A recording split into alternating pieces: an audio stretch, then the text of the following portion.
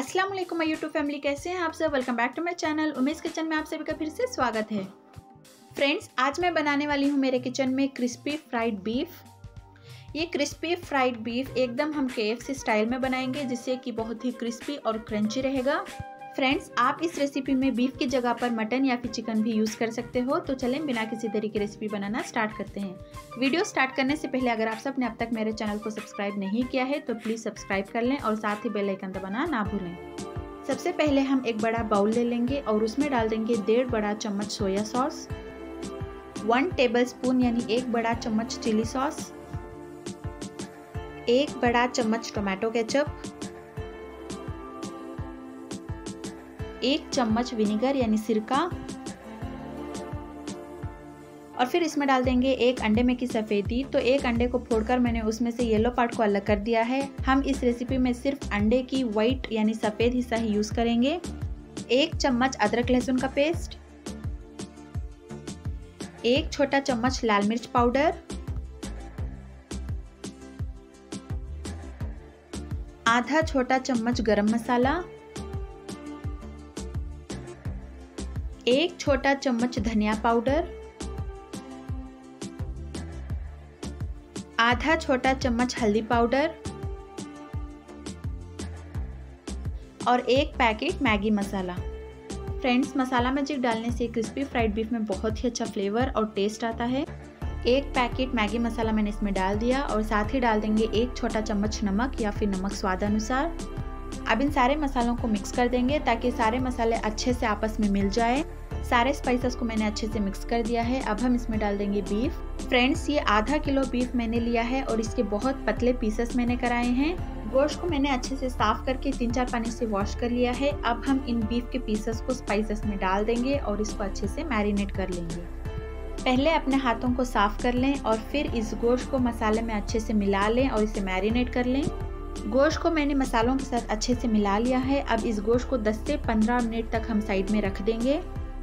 अब एक बर्तन ले लेंगे या फिर कोई बड़ी प्लेट ले लेंगे और उसमें डाल देंगे एक कप मैदा यानी ऑल पर्पज फ्लोर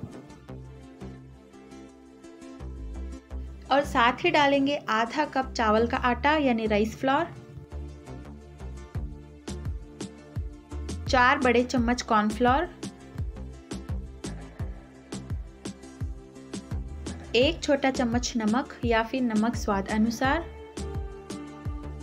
और इसमें डाल देंगे दो बड़े चम्मच कॉर्नफ्लेक्स ये बिल्कुल ऑप्शनल है। अगर आपके घर पर कॉर्नफ्लेक्स हैं तो आप इसे ज़रूर डालें। कॉर्नफ्लेक्स को अपने हथेली पर डालकर इसे क्रश करके डालेंगे। कॉर्नफ्लेक्स को डालने से क्रिस्पी फ्राइड बीफ में बहुत ही अच्छा क्रंचीनेस आता है। और फिर इसमें डाल देंगे एक चम्मच चिली फ्लेक्स यानी कुटी हुई लाल मिर्च। और साथ ही डाल देंगे आधा छोटा चम्मच कुटी हुई काली मिर्च। आप काली मिर्च का पाउडर भी डाल सकते हो, आधा छोटा चम्मच बीफ मसाला और फिर इसमें डाल देंगे एक मैगी मसाला का पैकेट। अब इन सारे सूखे मसालों को अपने साफ़ हाथों से अच्छे से मिक्स कर देंगे, ताकि मैदे में जो हमने स्पाइसेस डाले हुए हैं, वो आपस में अच्छे से मिल जाए।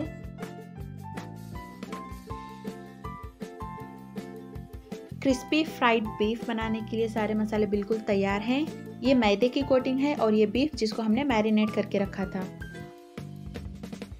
अब इस गोश्त के पीसेस को एक एक करके इस आटे में डाल देंगे और अच्छी तरह से इसकी कोटिंग कर लेंगे। इस गोश्त के पीसेस को आटे में अच्छे से दबाएँगे ताकि इसके ऊपर कोटिंग अच्छे से आ जाए और इस कोटिंग किए हुए गोश्त के पीस को हम प्लेट में रख लेंगे। अब इसी तरह से मैरिनेट किए हुए गोश्त के पीसेस को एक एक करके आटे में डालेंगे और उसको अच्छे से प्रेस करेंगे। तो ये देखे फ्रेंड्स गोश्त के पीस के ऊपर आटे की अच्छी सी बाइंडिंग आ चुकी है। इसको हमने अच्छे से कोट कर लिया है। अब इसी तरह से बाकी गोश्त के पीसेस को हम तैयार कर लेंगे।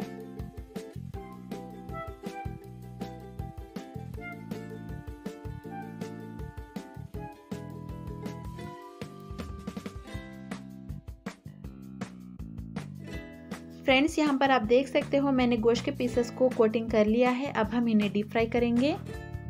मैंने तेल को ऑलरेडी गर्म होने के लिए रख दिया है इन बीफ के पीसेस को फ्राई करने के लिए। तो यहाँ पर तेल अच्छे से गर्म हो चुका है। अब हम गैस के फ्लेम को मीडियम पर कर देंगे और इन गोश्त के पीसेस को इसमें एक एक करके डाल देंगे। जब आप गोश्त के पीसेस को तेल में डाल रहे हों तो गैस का फ्लेम मीडियम पर ही रखें। अगर आपने इन गोश्त के पीसेस को हाई फ्लेम पर डीप फ्राई किया तो गोश्त बाहर से पक जाएगा, लेकिन अंदर कच्चा ही रहेगा। अब इन गोश्त के पीसेस को बाहर से क्रिस्पी और गोल्डन ब्राउन होने तक मीडियम फ्लेम पर फ्राई करेंगे। तो ये देखें फ्रेंड्स हमारे बीफ के पीसेस बाहर से क्रिस्पी और गोल्डन ब्राउन हो चुके हैं, और ये अंदर से भी अच्छे से पक चुके हैं। अब हम इन्हें एक टिश्यू पेपर में निकाल लेंगे, ताकि एक्स्ट्रा जो भी तेल है, वो टिश्यू पेपर में आ जाए।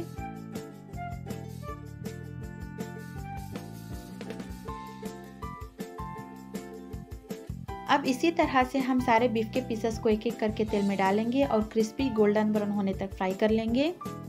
फ्रेंड्स ये क्रिस्पी फ्राइड बीफ बहुत ही टेस्टी होते हैं और क्रंची भी।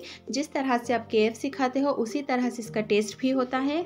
अगर आप बीफ नहीं खाते तो मटन के साथ भी आप इस रेसिपी को बना सकते हो। बहुत ही मज़ेदार रेसिपी है, आपको ज़रूर पसंद आएगी।